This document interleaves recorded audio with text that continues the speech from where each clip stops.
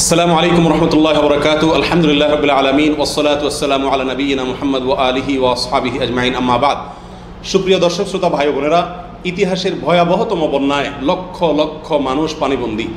মানবতর জীবনযাপন করছেন মা, বোন, বৃদ্ধ, শিশু, সর্ববয়সের লোকজন। আল্লাহ সুমাতাল আমাদের যাদেরকে সুস্থ রেখেছেন, স্বাভাবিক রেখেছেন, বন্যামুক্ত রেখেছেন, আমাদের প্রত্যেকের ইমানই এবং মানবিক দায়িত্ব হলো এই সমস্ত বন্যার্থ দুর্দশাগ্রস্ত, অসহায় মানুষের পাশে দাঁড়ানো।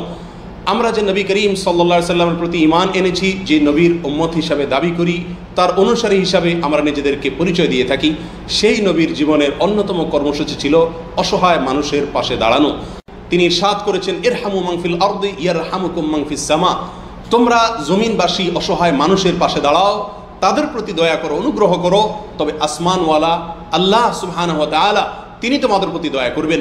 সই বুখারি মুসলিমের হাদিসে আসছে, নবী সাল্লাহ সাল্লাম আরও ইরশাদ করেছেন যে ব্যক্তি কোনো মুসলমানের অভাব, অনটন, দুঃখ, কষ্ট, কোনো মুসিবত দূর করে দিবে, আল্লাহ সুমাতালা ওই ব্যক্তিকে কেয়ামতের ভয়াবহতম দিনে মুসিবত এবং বিপদ আপদ থেকে রক্ষা করবেন। অতএব আমাদের প্রত্যেকের উচিত আমাদের নিজেদের দায়িত্ববোধ থেকে বর্ণার্থ মানুষের পাশে দাঁড়ানো। আমাদের দেশের কিছু চিহ্নিত নাস্তিক, বামপন্থী এবং ইসলাম সম্পর্কে স্বল্প জ্ঞান সম্পন্ন মানুষেরা একটি আহ্বান, একটি আওয়াজ তুলেছে, সেটি হলো, এ বছরের কোরবানির টাকা বন্যার্থদের জন্য ব্যয় করা হোক। অর্থাৎ কোরবানি না করে সেই টাকাটি বন্যার্থদের মাঝে বন্টন করা হোক, অসহায় মানুষের জন্য খরচ করা হোক, তাদের এই দাবি কতটুকু যৌক্তিক, কতটুকু গ্রহণযোগ্য? সম্মানিত ভাই বন্ধুগণ, এ প্রসঙ্গে সর্বপ্রথম কথা হলো, যারা এই দাবি তুলছেন, তারা কি কোরবানির গুরুত্ব আদৌ জানেন? কোরআন এবং সন্ন্যার দৃষ্টিতে একজন মুসলিমের কাছে কোরবানি অত্যন্ত গুরুত্বপূর্ণ একটি আমল। বন্যার্থ মানুষের পাশে দাঁড়ানো, এটিও কোরআন এবং সন্ন্যার দৃষ্টিতে আরেকটি গুরুত্বপূর্ণ আমল।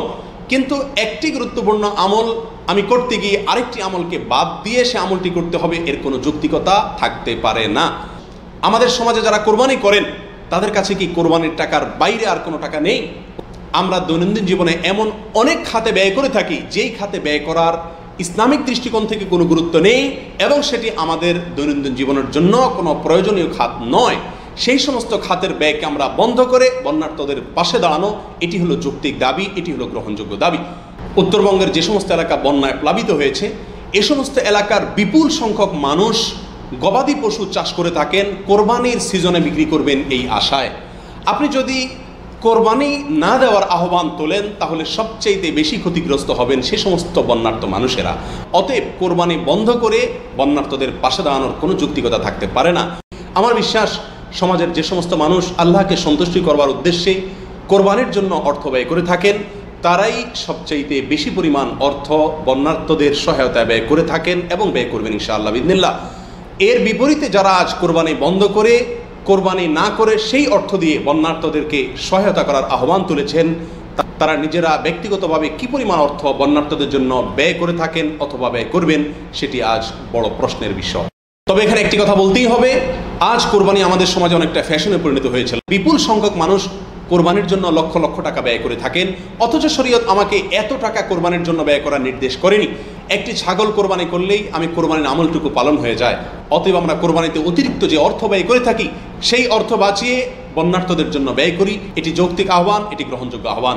আসুন, এবছর আমাদের কোরবানির যে আমলটি আছে, সেখানে আমরা অপচয় না করে, অতিরিক্ত খরচ না করে বিলাসিতা প্রদর্শন না করে অতিরিক্ত অর্থ বন্যার্থদের জন্য আমরা পাঠিয়ে দেই। এই অর্থ দিয়ে তাদের পাশে দাঁড়ানোর চেষ্টা করি। আল্লাহ সুমাতাল আমাদের সকলকে উভয়মুখী আমল করার তৌফিক দান করুন। আসসালামু আলাইকুম রহমতুল্লাহ বরাকাতু